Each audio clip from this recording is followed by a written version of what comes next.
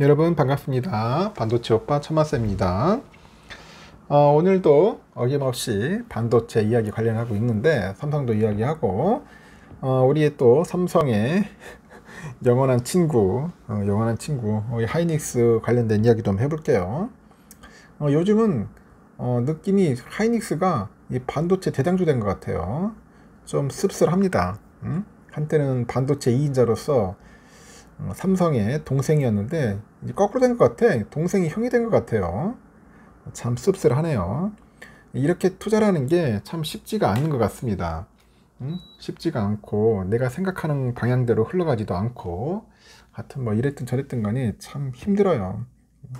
근데 저는 뭐 하이닉스 좋게 봅니다. 나쁘게 보지 않으니까 관심 있는 분들은 뭐 잘 살펴보시고 근데 좀 20만 원까지 도착했잖아요. 20만 닉스인데 지금 20만 닉스를 사라고 하기는 좀 그렇습니다. 그래서 그런 부분들 여러분 잘 고려하셔서 투자하셔야 돼요.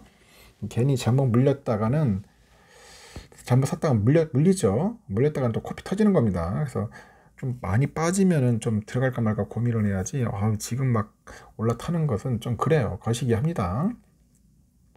하여튼 국내 증시의 시가총액 2등 기업이죠. 그리고 삼성과 함께 국내 반도체주 투톱이죠. 투톱으로 꼽히고 있는 하이닉스. 어, 장 초반에 주당 20만 원을 넘어섰고요.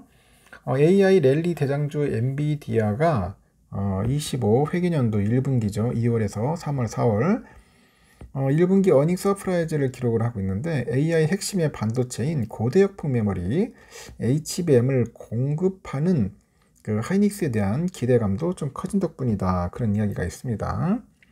어, 이런 상황에서 하이닉스 주가가 경영난 등의 요인으로 인해 가지고 현재 1만 원에도 미치지 못했던 그런 시절에 애사심으로 어, 자사주를 대량 구매한 사람이 있었던가 봐요. 어, 대량 구매해가지고 보유한 그 하이닉스 직원의 근황이 공개가 됐다. 그래서 온라인상에서 주목을 받고 있더라. 그런 이야기입니다. 어, 전날 한 온라인 직장 커뮤니티에 보니까 하이닉스 이형 근황 아시는 분 이런 제목의 글이 올라왔어요. 도대체 어떤 형이야? 어, 보니까 대단한 형인가?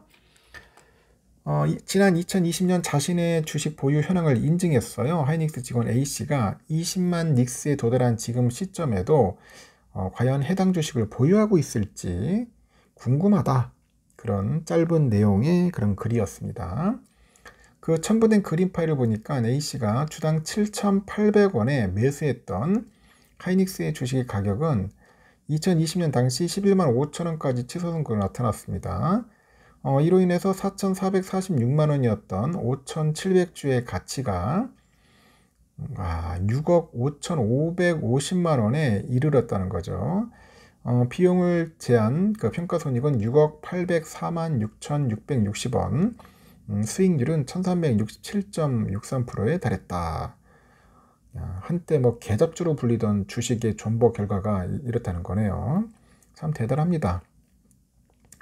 어, 이 글에 보니까 A씨는 회사 내에선 당시 자사주 사면은 미친놈이다 뭐 그런 소리를 듣던 시절에 그냥 애사심과 저평가라는 생각에 올인을 했대요. 생애 첫 주식 투자였고 다행히 급전 필요가 없어서 그냥 묻어두고 살았는데 어, 이제는 슬슬 팔 타이밍을 찾고 있다. 그런 이야기를 하죠.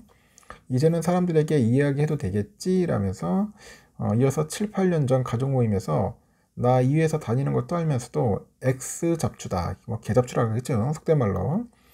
하여튼 내 앞에서 말하던 사촌형한테 이 글을 바칩니다. 어? 사촌형이 왜 개잡주 샀냐고 막 비아냥거렸을 텐데 지금은 사촌형한테 이 글을 바친다고 합니다. 어, 이 글이 더 큰 주목을 받는 이유가 2020년 당시에 그 게시글을 작성한 당사자를 알고 있다는 또 다른 그 하이닉스 직원이 아직 들고 계심이라는 글을 남겼고 어, 2시간 뒤에는 4년 전 인증글을 작성했던 당사자 A씨가 현재는 자신의 주식 계좌를 또 한 번 인증하고 나섰기 때문이라는 거죠.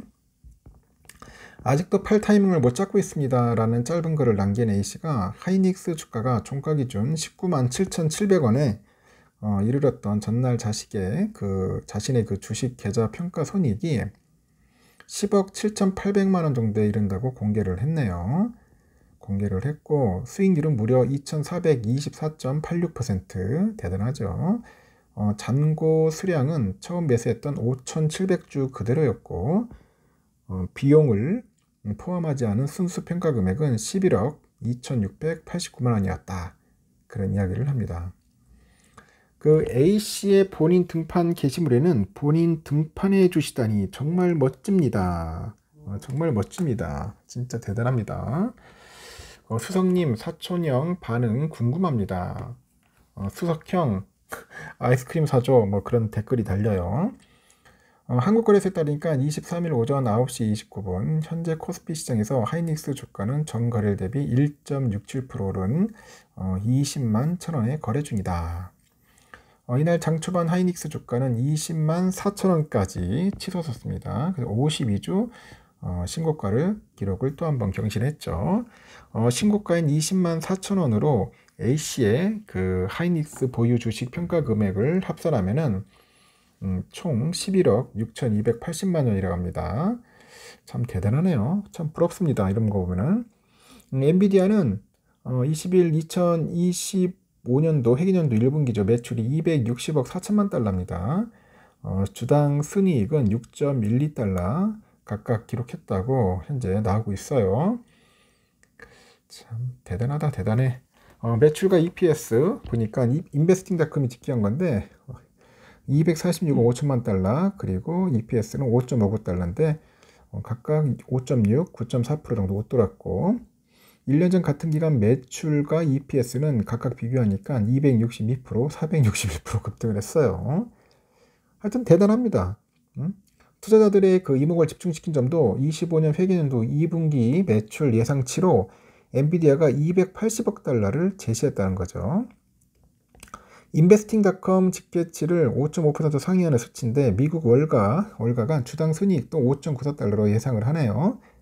이렇게 대형 호재들이 이어지다 보니 음, 곧장 주가에 반영되는 모습도 보였고 어, 미국 뉴욕 증권거래소 보니까 20일 오후 5시 엔비디아 주가는 시간에 거래해서 6.16% 현재 오르고 있더라고요. 한 1,008달러 정도 왔다 갔다 합니다.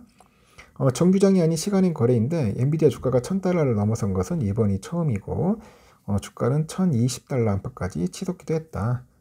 하여튼 하닉스는 엔비디아의 호실적의 수혜를 입을 어, 첫 번째 기업으로 꼽힙니다. 엔비디아의 HBM3를 사실상 독점 공급하고 있어요. 그래서 3월 메모리 업체 중 가장 먼저 어, HBM3 8단 제품 납품하기 시작했습니다. 그리고 12단 제품 샘플도 이달 중 제공하고 오는 3분기에는 양산 가능하도록 준비 중이라고 합니다. 하여튼 하이닉스 주주분들도 어, 축하드립니다. 음, 더 많이 돈 벌었으면 좋겠습니다. 감사합니다.